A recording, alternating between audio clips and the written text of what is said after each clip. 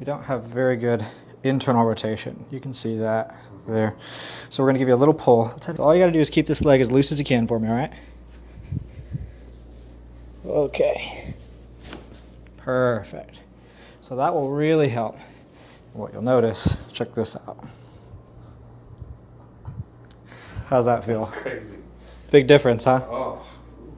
And then let's look on this side. See, internal's much better on this side. A little bit limited here. And I wouldn't say it's limited just overall, but it's a little limited compared to your other side. Okay. So we're going to do the opposite way on this side.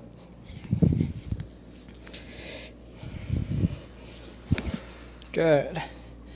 And now, check that out. See how easy that falls out? Yeah.